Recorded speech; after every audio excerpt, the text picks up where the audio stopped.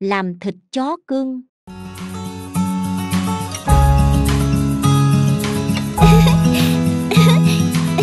Laura Con xem Bà có gì cho con nào? Ôi Con chó to quá bà ơi. Đừng sợ Con chó này rất khôn và hiền lắm. Nó sẽ không cắn con đâu. Thật chứ ba? Đương nhiên Bà có nói dối con bao giờ đâu chứ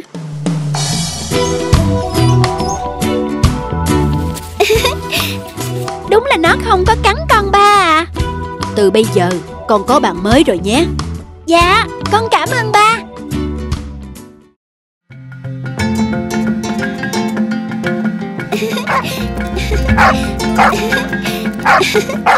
Bắt lấy này Bob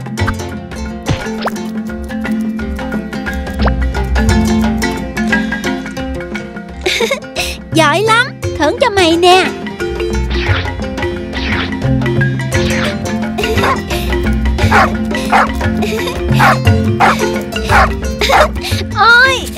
Buồn quá. Buồn quá.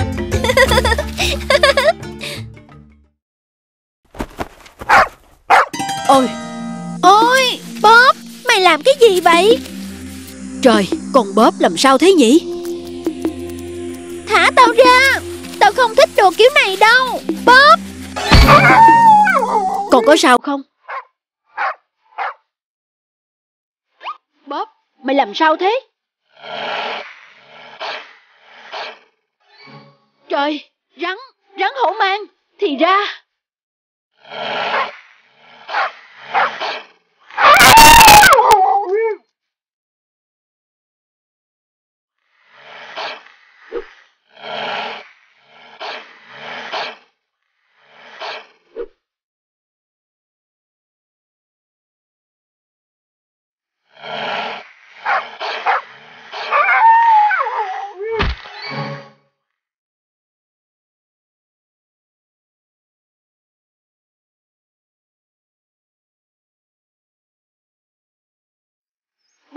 Mày không sao chứ?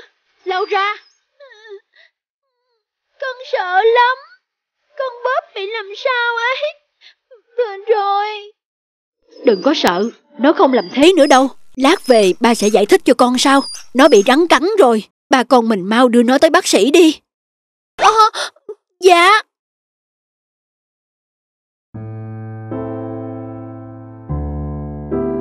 Cũng may là tới bác sĩ kịp thời Mày chỉ cần nghỉ ngơi vài ngày là khỏe rồi.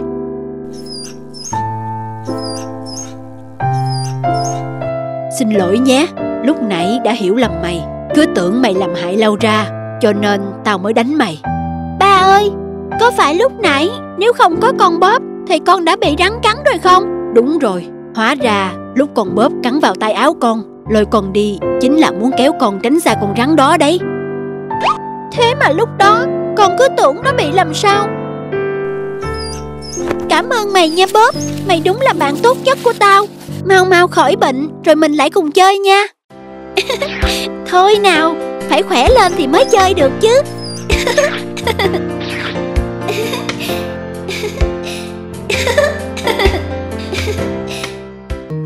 Nơi tình yêu bắt đầu.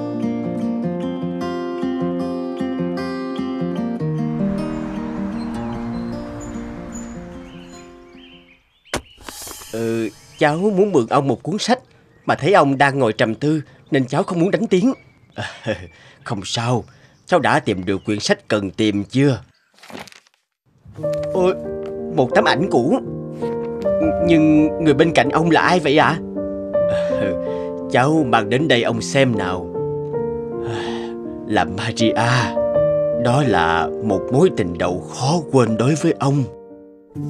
Thành phố Chicago. 50 năm trước. Chào anh Peter. Hôm nay anh muốn dùng gì?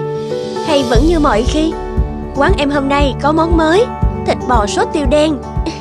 Anh muốn dùng thử không? Ừ, à, vâng, vâng. Tôi uh, rất thích cô À, à, không không. Tôi không thích cô. Ấy không Không phải. Ý của tôi là Tôi rất thích lời đề nghị của cô Em hiểu ý của anh mà. Anh ngồi đây đợi tí nha Đồ ăn sẽ ra ngay.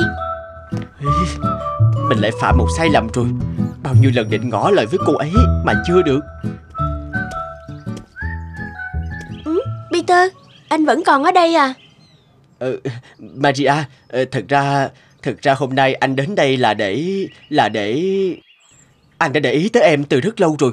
Kể từ lần đầu tiên anh gặp em ở quán ăn này Vẻ đẹp của em Sự dịu dàng của em Đã rất gây ấn tượng với anh Anh thực sự rất thích em Làm bạn gái anh được không Em đồng ý. Thực ra, em cũng chờ ngày này lâu lắm rồi.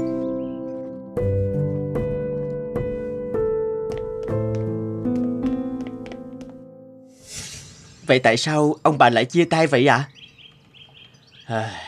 Tất cả là một câu chuyện dài nhưng ông đã làm việc có lỗi với bà ấy. Trong suốt 50 năm qua Ông luôn nợ bà ấy một lời xin lỗi. Lời xin lỗi? Vậy sao ông không tìm gặp bà Maria để nói ạ? À?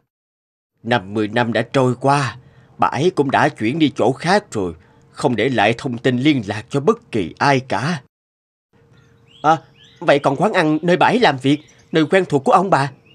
À, Ông đã quay lại quán ăn. Để có hy vọng có thể gặp bà ấy Nhưng cũng đã quá muộn Khi đến đó Ông được biết là quán ăn cũng đã đóng cửa Sau khi ông bà chia tay 3 năm Sau đó Ông đã đi khắp thành phố Chicago Hỏi những người quen của bà ấy Nhưng không ai biết bà ấy đã chuyển đi đâu Thế là ông đã bật tin của bà Maria cho đến tận bây giờ. À, cháu vừa nghĩ ra được một cách để giúp ông có thể tìm lại bà Maria. Boston, Mỹ Bài viết có tựa đề Tôi muốn gặp lại cô gái trong bức ảnh để có thể nói một lời xin lỗi. Peter Vanderson liền được chia sẻ một cách nhanh chóng. Số lượt like, comment, chia sẻ tăng lên chóng mặt ở trên Facebook. Ơ, à, à, Bức hình này Hình như mình đã thấy ở đâu rồi Bà, bà ơi Bà xem nè Sao, sao cháu lại có bức ảnh này? Không phải là cháu có đâu Mà là người có tên nick Facebook Là một người tên là David Vanderson Đã đăng nó lên mạng xã hội. Có phải cô gái trong ảnh là bà đúng không bà? Đúng là chuyện từ rất lâu rồi. Vậy cháu có thể nói rõ hơn cho bà biết là bài viết đó nói cái gì không? Bài viết này là bài viết nói rằng ông Peter Vanderson đang muốn tìm gặp lại mối tình đầu của mình để có thể nói một lời xin lỗi với cô ấy. Cháu nói tên người muốn tìm bà là Peter Vanderson à? Dạ đúng rồi thưa bà. Hãy để cháu hẹn gặp, bà thử gặp ông ấy một lần. Biết đâu ông ấy có lời giải thích thì sao? 50 năm rồi Bà không muốn nghe một lời giải thích từ một kẻ phản bội đâu Ông ấy đã chia tay với bà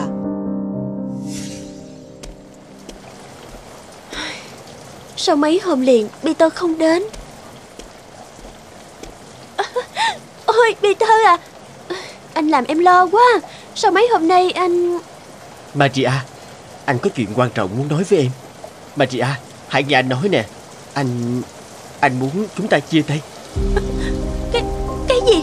Chia tay? Phải, anh muốn chúng ta chia tay. Anh phải đi đây. Từ nay anh sẽ không đến gặp em nữa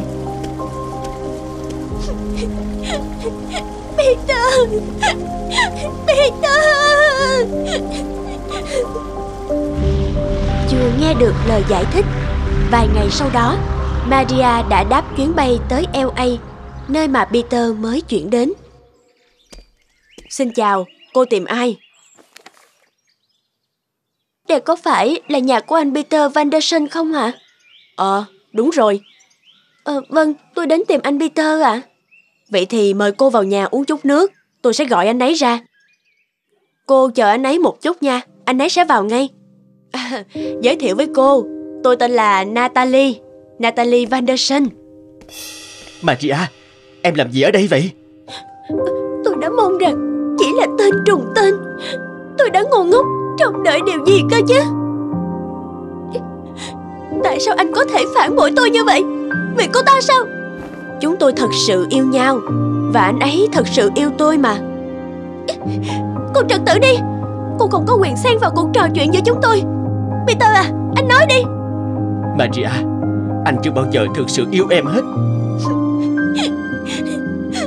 Đồ tồi tệ. Anh và cả cô ta Là những cái tệ bạc và xấu xa nhất.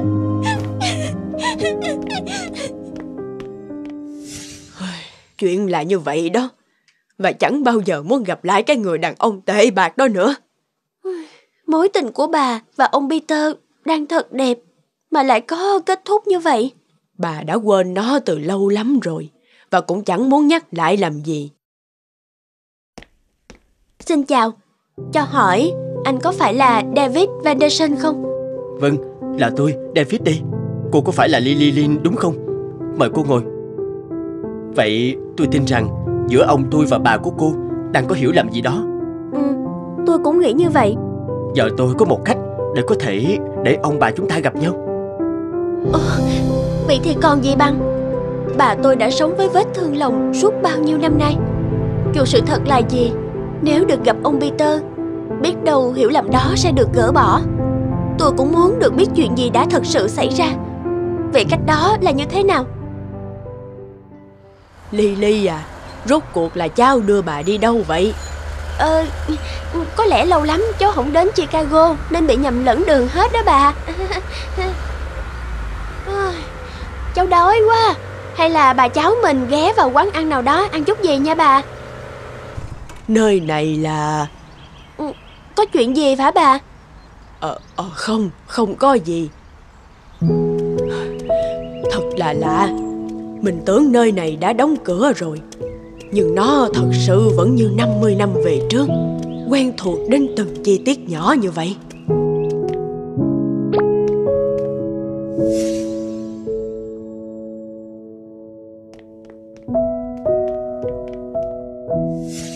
Maria Có phải là Maria Linh không? Maria Đúng là Maria rồi Peter Vanderson, sao anh lại ở đây? Chuyện này là như thế nào? Cháu chào bà Cháu là David Là cháu trai của ông Peter ạ Tôi không muốn gặp lại ông, ông về đi. Nếu đã đến đây rồi Thì chúng ta cùng ngồi xuống đi Cho tôi một tách trà nóng với hai gói đường ở ngoài nha. Còn tôi một tách Americano nóng Có vẻ như khẩu vị của em vẫn không thay đổi Đó có lẽ là một thói quen khó bỏ, Peter ạ. Giống như những việc mà ông đã gây ra cho tôi, khó mà cho vào lãng quên được. Em thật sự vẫn hận anh đến vậy sao? Maria à, em có để ý trong thời gian chúng ta yêu nhau, anh chưa hề nói với em công việc của anh là gì. Peter, trong nhiệm vụ mới lần này, cậu phải kết hôn với Natalie, cũng là một trong những đặc vụ của chúng ta. Nhiệm vụ của hai người là điều tra một nhóm xã hội đen đang kinh doanh ma túy mạng lưới rộng ở đây. Ừ, vâng, tôi hiểu thưa sếp. Tốt, để có thể đảm bảo an toàn và thuận lợi cho nhiệm vụ, chúng tôi sẽ tạo cho hai người hai thân phận mới để đột nhập vào tổ chức đó. Cậu cần cắt đứt mọi quan hệ với những người quen hay thậm chí là người yêu của cậu. Cậu chắc hiểu mình cần phải làm gì rồi chứ. Ừ, dạ vâng, thưa sếp. Chuyện là như vậy đó Maria à. Nên vào thời điểm đó, anh không thể nói rõ ràng mọi chuyện với em được. Giờ mong em có thể hiểu được nỗi khổ của anh lúc đó. Vậy là cô gái em gặp ở nhà anh lúc đó chính là Natalie, đồng nghiệp của anh sao? Ừ, đúng vậy. Nhiệm vụ đó thực sự không hề đơn giản. Bọn anh đã phải mất 10 năm mới có thể đưa toàn bộ được đường dây xã hội đen đó ra ánh sáng. Vậy gia đình hiện tại của anh, người cháu David hiện tại của anh thì sao? Như anh đã nói, vì yêu cầu của nhiệm vụ, vở kịch phải diễn rất thật. Bọn anh có con, David là cháu ruột của anh và Natalie. Nhưng Maria, mong em hiểu cho, cả hai bọn anh lúc đó đều vì yêu cầu của nhiệm vụ. Cả hai cũng nhận thấy trong công việc này sẽ không bao giờ có cơ hội để có thể có được hạnh phúc cho riêng mình. Nên bọn anh vẫn chọn tiếp tục cuộc sống hôn nhân như vậy. Vậy em chấp nhận lời xin lỗi của anh chứ? Vậy Natalie, cô ấy giờ sao rồi? Natalie đã mất vì bị thương nặng trong một lần làm nhiệm vụ khác sau đó. Nè, Peter à, xin anh hãy bình tĩnh lại. Tôi biết anh yêu cô ấy rất nhiều. Đây là nơi tình yêu của chúng mình bắt đầu. Khoảng thời gian không ở bên cạnh em, anh cũng vô cùng đau khổ. Và hơn hết, anh luôn dằn vặt mình vì đã gây tổn thương cho em. Nhưng em hãy nhìn xem, anh vẫn nhớ như in những thứ liên quan tới em. Từng đồ vật ở đây đều là những kỷ niệm không bao giờ anh quên được. Thật không ngờ, quán ăn này đã qua thời hoàng kim của nó rồi sao? Ông không ngờ rằng nó lại bị bỏ hoang như thế này. Nhìn nó trông thật buồn quá. Mà chị A đã rất thích và yêu quý nó. Nhưng có lẽ vì ông mà cô ấy đã bỏ đi và không bao giờ quay lại quán này nữa. Ông ơi, cháu có ý này. Hay chúng ta mua lại quán ăn và tu sửa nó lại giống hệt như xưa đi. nó thật sự rất hay. Ý kiến của anh hay lắm. Hy vọng hai ông bà sẽ giải tỏa được hiểu lầm. Mẹ sẽ không bao giờ bỏ rơi con. Bộ phim dựa trên câu chuyện có thật của Catherine O'Bara ở Nam Florida vào năm 1970.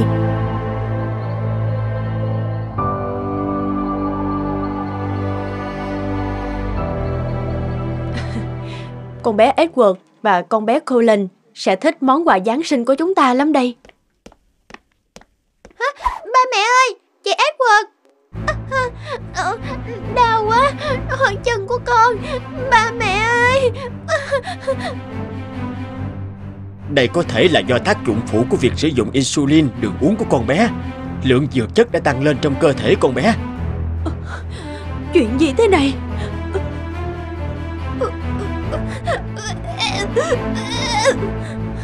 Không xong rồi.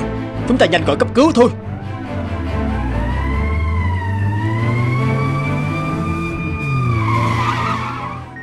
Tình hình rất nguy kịch. Chúng ta phải lập tức thực hiện phẫu thuật cho con bé. Xin bác sĩ hãy cứu con gái tôi.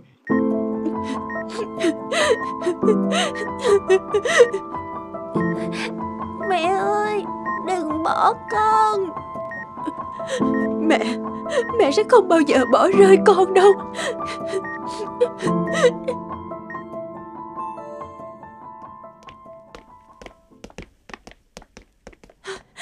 Tình hình con gái tôi thế nào rồi bác sĩ? Mặc dù đã được cứu sống Nhưng việc cô bé có tỉnh lại được hay không Thì không thể nói trước được. Ôi trời ơi! Năm tháng sau. Edward, chào mừng con trở về nhà. Edward, con thích không? Phòng ba mẹ giờ đây sẽ là phòng của con. Con yên tâm nha Ba mẹ sẽ luôn ở bên cạnh của con.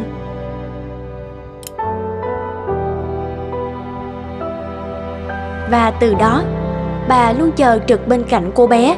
Mỗi 2 giờ Bà sẽ cho Edward ăn qua ống một lần. Mỗi đêm Bà Katrin luôn đặt hơn 10 lần báo thức. Vào lúc nửa đêm 2 giờ, 4 giờ, 6 giờ sáng Bà tiêm insulin cho con và thay tả cho cô bé.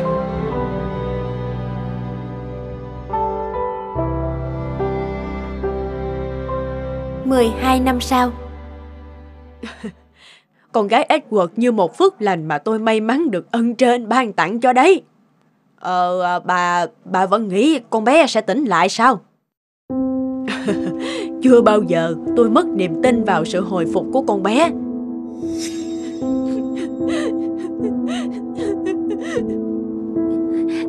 Mẹ ơi, đừng bỏ con. Mẹ, mẹ sẽ không bao giờ bỏ rơi con đâu. Trước khi con bé hôn mê Tôi đã hứa sẽ không bao giờ rời bỏ con bé.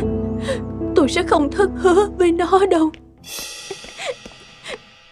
Mẹ ơi, ba, ba bị đột quỵ. Khi đang làm việc à?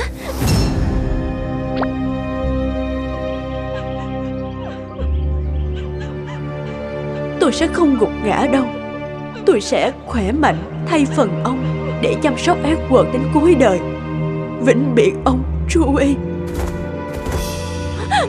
Mẹ ơi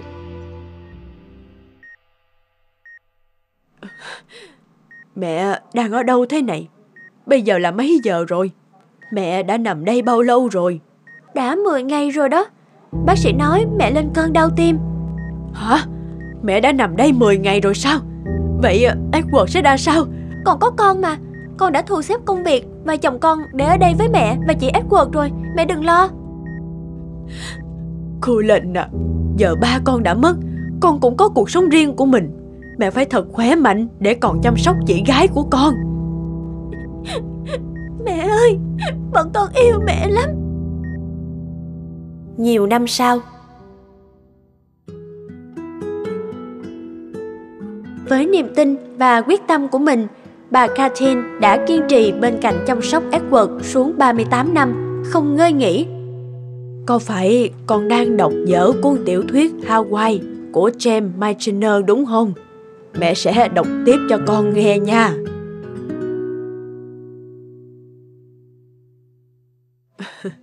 con thấy kết truyện thế nào? Hay Hả? Edward, là con, con vừa trả lời mẹ có phải không? Edward, chắc chắn là tiếng của con rồi. Con sẽ sớm tỉnh lại phải không? Có thể nghe được tiếng con là mẹ đã mãn nguyện lắm rồi. Con đã rất kiên trì, mẹ luôn tự hào về con.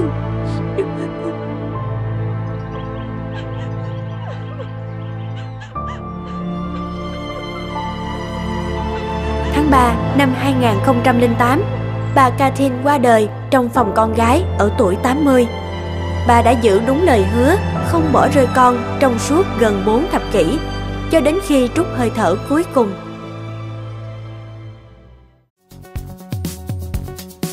Hãy like, comment, subscribe kênh để xem thêm những video mới nhất nhé